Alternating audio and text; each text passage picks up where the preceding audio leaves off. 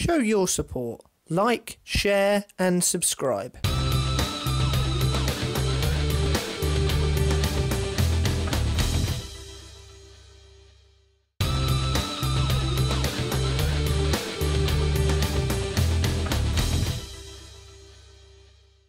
Hello, I am that British guy, and welcome to a completely brand new series for my channel. Now, in one of my videos earlier this year, I said that I was dropping the pay-per-view predictions videos. Basically, a lot of people are doing that kind of thing, and I want to do something a little bit different.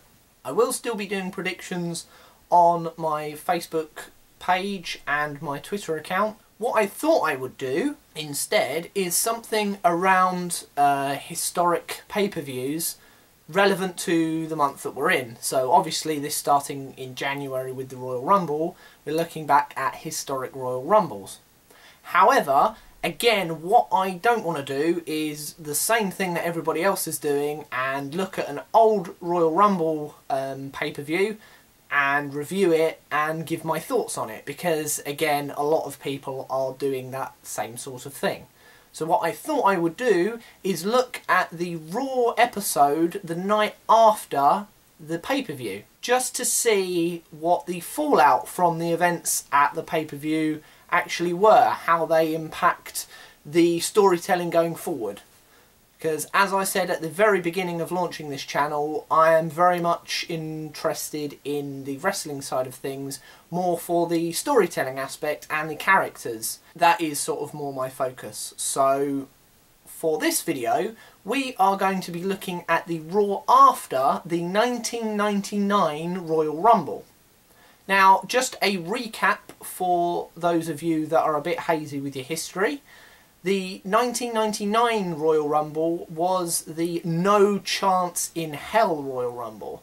Now this was the one where Stone Cold Steve Austin and Vince McMahon both entered at 1 and 2 and after a brief sort of scuffle in the ring they both exited and the corporation actually took Austin out of the duration of the match. He then returned right near the end very similar to what happened to Roman Reigns, only he got cheered instead of booed. And it went down to those two as the last two competitors in the Rumble. And thanks to a distraction by The Rock, Vince McMahon was able to eliminate Stone Cold Steve Austin, preventing him from going to WrestleMania 15 and competing for the WWF title. And in that same Royal Rumble, that was the infamous I Quit match between Mankind and The Rock for the WWF title. So by the end of the night, you had the corporation winning the title and winning the Rumble. So they were massively on top. So let's see what happens the night after on Raw. Now, as you can imagine, Raw opens up with a massive celebration for the corporation. Everyone comes down led obviously by Vince McMahon. The Rock is there with his WWF title. Ken Shamrock and the Big Boss Man are there, the tag team champions. Ken Shamrock is also the Intercontinental Champion. You've got Shane McMahon and Test there, and obviously the Stooges of Pat Patterson and Gerald Brisco as well. So there's a lot of gold in the ring. You've got the Royal Rumble champion as well, and the whole thing is just going on about how Vince McMahon promised that Austin had no chance in hell to win the Royal Rumble and how he basically managed to live up to his promise, prevented Austin from going to WrestleMania and you got a little bit of celebration there as well with The Rock beating Mankind for the WWF title. So everything is solely focused on the corporation. And it's in this opening segment that Vince McMahon basically looks Rock right in the eye and says to him, Don't worry, Rock. Even though you're the champion and I am the Royal Rumble winner, I promise you will not have to face me at WrestleMania 15.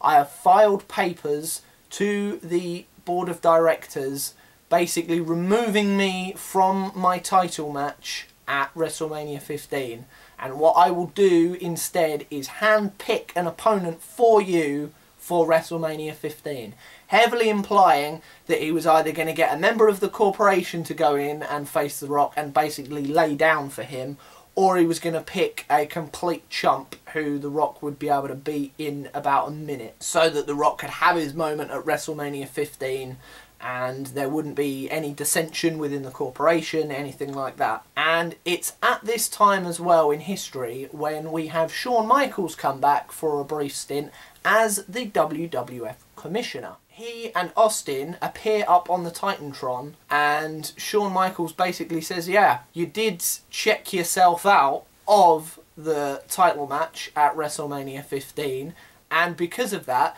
due to the contract of the Royal Rumble match, if the winner is unable or unwilling to compete for the WWF title at WrestleMania, the runner-up automatically takes their place. So obviously, unbeknownst to Vince McMahon, him leaving the title match means that Austin gets his shot at the WWF title at WrestleMania. And this is where Austin promises to Vince McMahon that he will put his title shot up on the line as long as he gets a match one-on-one -on -one with Vince McMahon. And that match will take place at St. Valentine's Day Massacre in your house in a couple of weeks' time. That ends up becoming the main event for that night, and it is a steel cage match. And Austin basically says, look, McMahon, you don't have to beat me in a wrestling match, because we know you can't do that, but because you're so good at running away from a fight, why don't we go in a steel cage match? All you've got to do is knock me out for a little bit and run away and you will take my spot away from me at WrestleMania 15. You get to protect your corporate champion The Rock so he doesn't have to face me. What do you say? All I want is one fight with you. And McMahon agrees to this match obviously with a plan in his head to screw Austin from his title shot at WrestleMania 15. And you might remember that is the night where Paul White, the big show, makes his debut in the World Wrestling Federation. He comes out of the ring and manages to throw Austin basically through the cage wall and because of that Austin drops down to the floor and wins the match kind of backfires on Vince McMahon. But that's obviously the thought process going through his head at the moment. I can just get somebody else in that match to lay Austin out and then I can win that match and face The Rock myself and even lay down for him.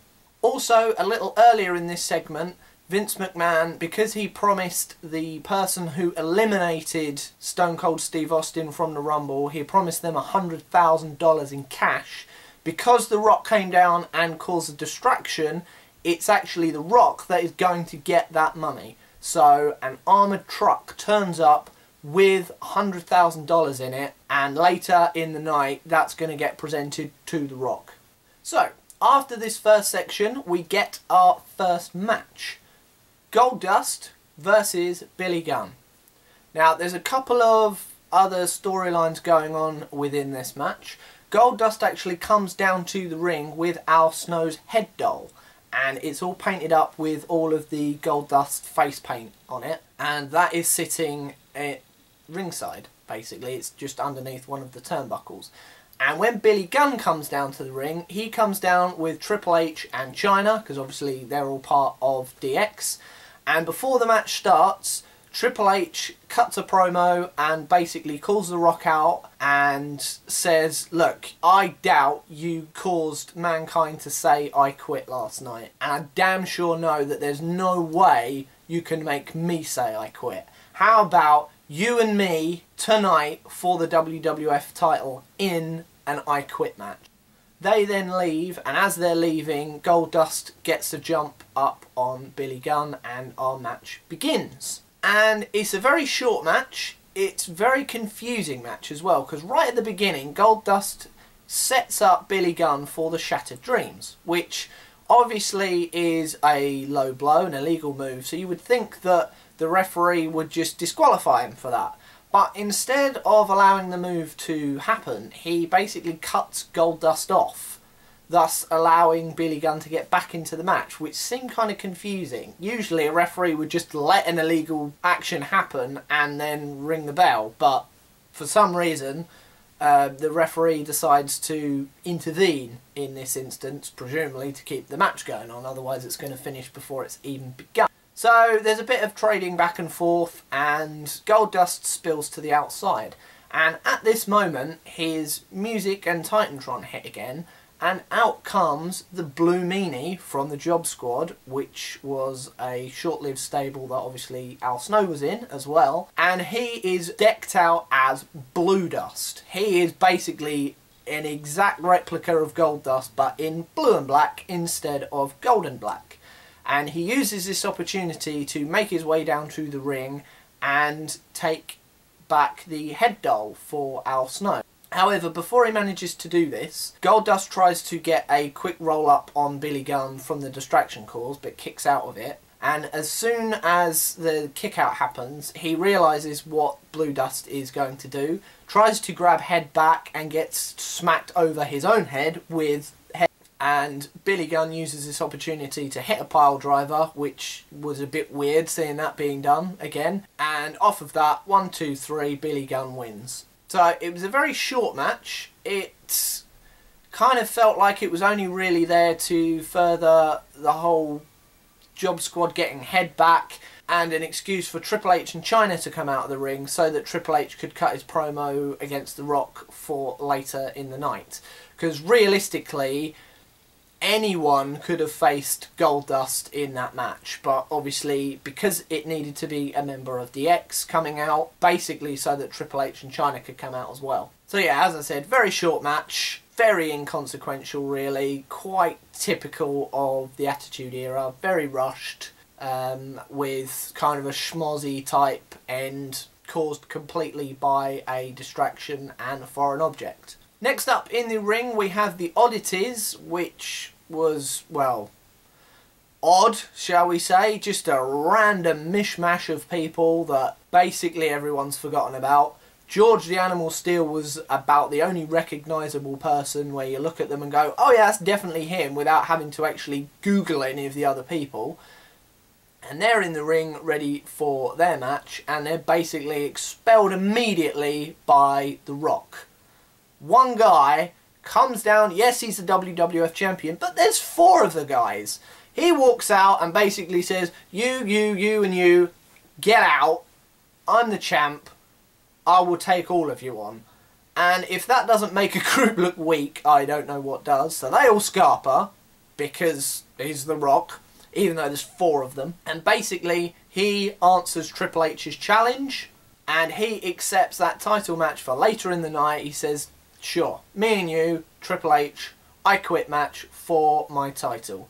And at that time, we see backstage footage of Mankind basically beating up one of the security guards and stealing the bag of money that has The Rock's $100,000 that he was about to be presented with in this segment. And Mankind comes out and starts dishing the money out to the front row of the audience. Now, I could see what they were trying to do with this, but it massively distracts from what's going on because the front few rows of the crowd all basically herd their way to the front in order to grab any of the notes that are falling on the floor because he's trying to throw them out but obviously it's paper money so it's falling about three inches away from his feet and they're all scrabbling to try and get the money. And no one then is paying any attention to what Mankind's saying. Nobody cares what he's saying. It's all about quick, grab the money, and it gets quite distracting quite quickly. And you could tell that Foley looked quite awkward about it because it didn't quite work out as he probably thought it would in his head because the money didn't actually go out into the audience. Anyway, he comes out and he says, Look, Rock, listen to the footage of the interview that I had on Heat and compare that to what I said, or what I said, at the Royal Rumble. And he basically confirms what even an idiot could work out, that it was exactly the same footage, or exactly the same sound clip, played at one and the other. They basically used his, I quit, I quit, I quit, voice clip from the interview and played that in the arena at the Royal Rumble. Now he says, Look, Rock, be a man, face me one more time for that title at halftime heat on Sunday in an empty arena match.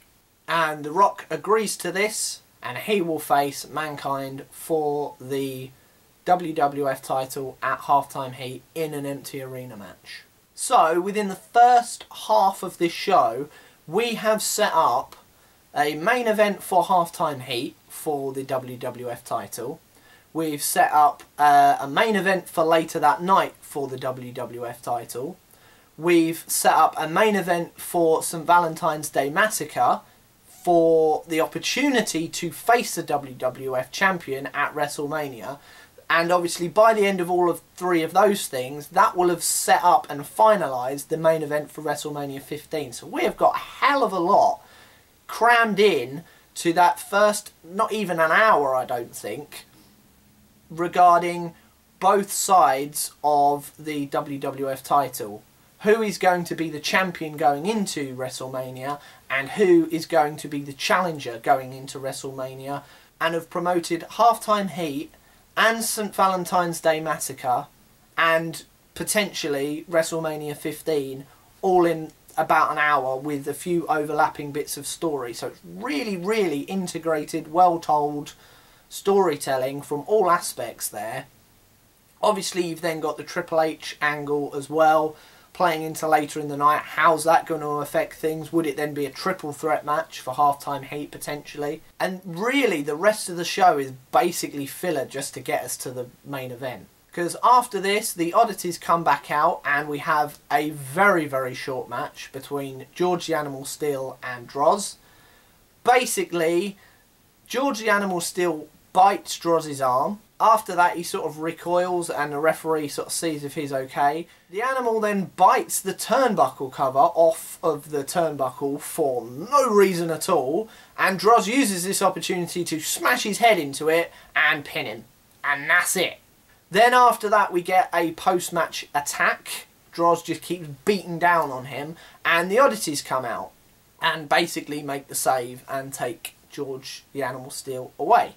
Then after that we get a tag team match for the tag team titles. Now obviously we've already seen and I've already said the champions at this time were Ken Shamrock who is also the Intercontinental Champion and his teammate the Big Boss Man and they are going up against Jeff Jarrett and Owen Hart and they are managed at the time by Debra. And there's a bit of a video package basically telling us how we got to this point and over the last three weeks, Jeff Jarrett and Owen Hart have used Debra's allure, shall we say, to basically cost the opponents the match and get surprise victories against them. So, before we even start, we see that the challengers for the titles can only win their matches because their manager distracts their opponents, basically. She wears a low enough cut top so here we are, Attitude Era at its height. She wears a low cut enough top in order for them to distract their opponents and get the win. So we already know that they're not really winning on merit. And they managed to beat the champions in a non-title match. They managed to beat the New Age Outlaws and they managed to beat Gangrel and Edge in three matches over three weeks in exactly the same way in order to get this title match and basically the champions dominate the majority of this match. Before the match starts, there's a little backstage skit where Bossman and Ken Shamrock are given saltpeter. And the king later explains that this was used for soldiers in the military to basically nullify their libido. Basically, the idea of this is to nullify Debra's influence in the match.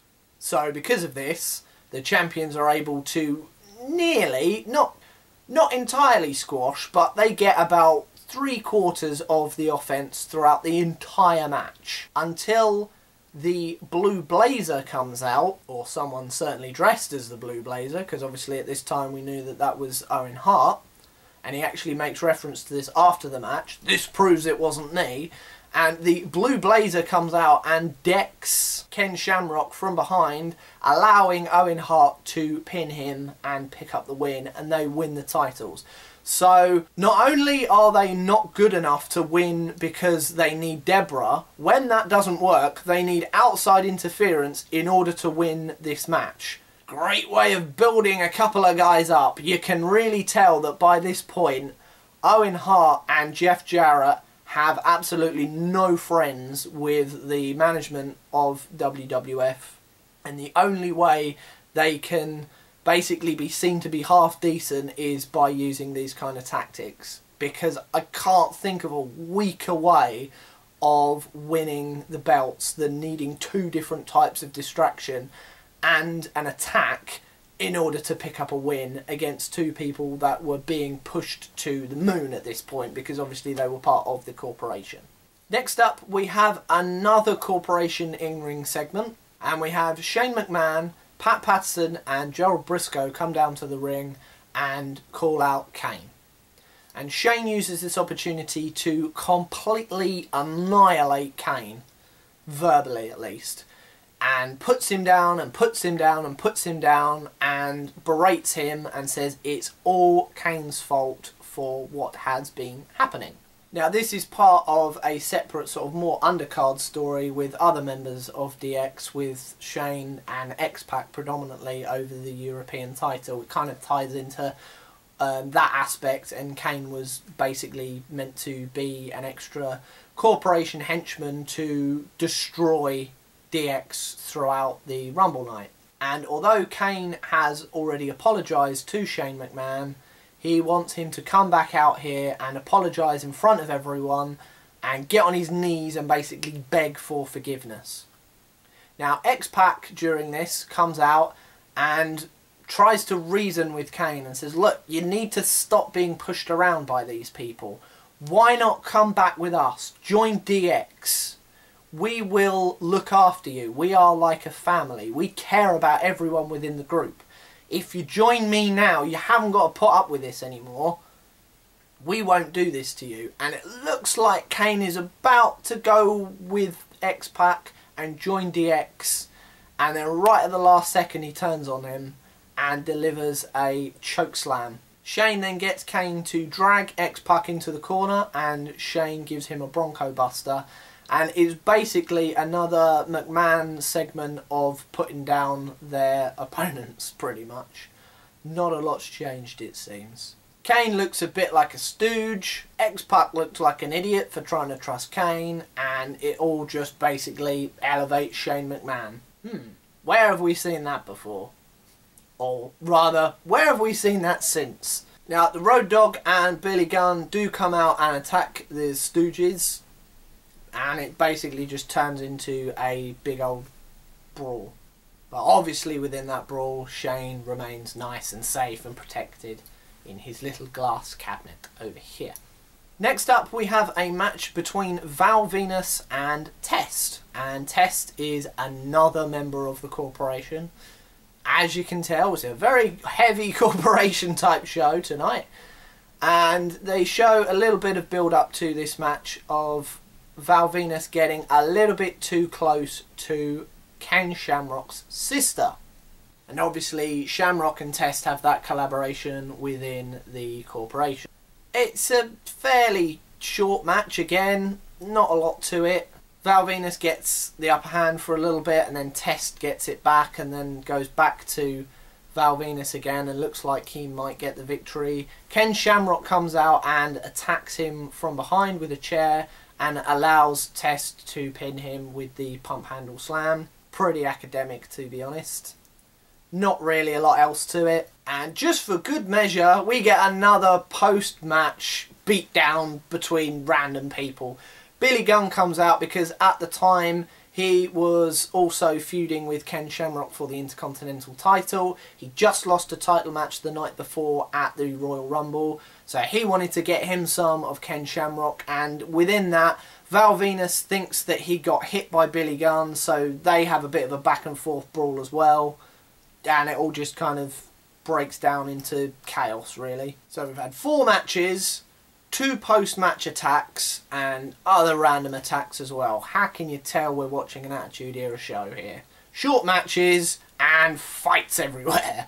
Talking of fights everywhere, the next match is a hardcore tag team match and we have the Road Dogg, who is the hardcore champion, teaming up with Al Snow, and they are going up against Gangrel and Edge. And Road Dogg and Al Snow get a couple of fire extinguishers during their entrance and manage to blindside Edge and Gangrel when they come out because they've got the whole fire pit thing and they come out of the floor and it's all moody, we're all vampires. So they attack them on the ramp and they go out the back. They don't even fight. They don't get anywhere near the ring, apart from obviously at the end to celebrate. But no one gets anywhere near the ring for this match. It's straight out the back and it's grab a weapon and hit someone around the head with it for 10 minutes. Oh, here's a thing. Whack. Here's another thing. Whack. And some of those headshots were brutal it was quite shocking seeing how hard some of those hits were. All completely unprotected with like baking trays and like hollow metal pole things and like stop signs and trash cans and chairs again and again and again on each other. No one was letting up. No one was protecting their head at all at any point. And yeah, it was just 10 minutes of whack another guy around the head with a heavy thing. Um, so they kind of fight and fight and move and move. And there's a right near the end, they climb up on some crates. And at the top of the crates, there's also a balcony. And at that point, Blue Dust reappears and hands Al Snow the head doll that he stole from Goldust earlier in the night. And Al Snow uses that to basically whack it round the head of Edge and Gangrel. They all fall through a set of tables with Road Dogg and Al Snow happening to basically lay across Gangrel and Edge, so they're both pinned. And one, two, three, they are your winners. It was very messy, very gnarly some of the headshots, and then Road Dogg and Al Snow basically have to run back to the ring so that they can celebrate with the crowd. There's then a quick bit between them two afterwards where the Road Dogg accepts Al Snow's challenge for the hardcore title at some point in the future. And at the end of this interview, the Ministry attacks both the Road Dogg and Al Snow. You've got the Acolytes in there, Mideon, and Mabel, and the Undertaker is just looking on. Basically, gives a a speech of approval and says that hell is coming or something equally vague and prophetic. Kind of like he did on Raw 25. Here are just some random words. So, main event time. The Rock, Triple H, I Quit match for the WWF title. Wow, I think this was the beginning of Triple H's start in the main event scene, really. This seemed like his first initiation test, if you like. Could he hang with those at the top of the card? Now, the previous title match that these two had was at SummerSlam for the Intercontinental title, and it was a very, very good match. And obviously, by now, The Rock had ascended to the top of the card. This was the second time he'd won the WWF title at consecutive Big Four pay per views as well. And this was Triple H's first sort of test at that level as well. And you could tell that they'd put a lot of trust in him. He dominated the vast majority of this match.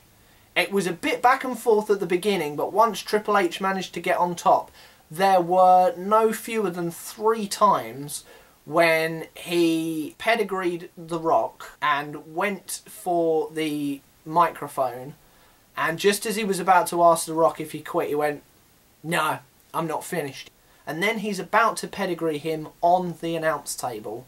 And at this point, the corporation rush the ring and grab hold of Chyna. And there's Kane there as well, so that obviously ties into what we saw earlier with the whole Shane McMahon Kane thing. And he's got her by the throat and has lifted her up ready to slam her down for the choke slam. And the corporation say to Triple H, look, you need to quit now, otherwise Chyna is going straight through this damn ring. We're going to break her in half unless you quit now. And Triple H looks at the ring and he's like, oh, would they do it? And he looks at The Rock and he looks back up and just thinks, I can't risk it. Says I quit, throws in the towel, lets go of The Rock. The corporation sort of let Chyna down gently ish and they gather The Rock up and, and kind of move their self away to the side. And at this point, Triple H comes into the ring and checks up on Chyna just to see if she's alright. And Triple H is then just eyeballing everyone in the corporation and happens to have his back to Chyna. And this is the night when Chyna turns on Triple H and DX. She goes up behind him and gives him a massive low blow. Triple H goes down to his knees and just sort of looks up at Chyna as if to say, What have you done? He falls to the floor and out comes Vince McMahon and Shane McMahon and it's hugs all round for Chyna. They have managed to capture the muscle of DX. And what looked like at the beginning of the night to be a very bad night for the corporation turns out to be a very successful night. Yes, they lost the tag team championships, but they managed to retain the WWF Championship. Vince McMahon has an opportunity to take the WrestleMania main event away from Stone Cold Steve Austin, and more importantly, they managed to take Chyna away from DX and get her to join the corporation.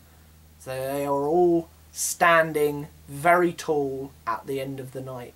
Obviously, as we know, coming out of WrestleMania 15, things aren't quite so great for the corporation. They do manage to acquire Triple H when he turns on X-Pac, and they acquire the European title for Shane McMahon. But as we know, The Rock does lose his championship to Stone Cold Steve Austin so that we can prolong the Austin and McMahon storyline. But all told, the Raw after the Royal Rumble 1999 had very, very good segments of storytelling, and it had one very, very good match, the main event. To be honest, the other matches were very throwaway. The hardcore tag team match was probably the second longest on the card and was just smash someone around the head with a thing. The Val Venis and Test match was very short and was really only there to make Ken Shamrock look strong. The Droz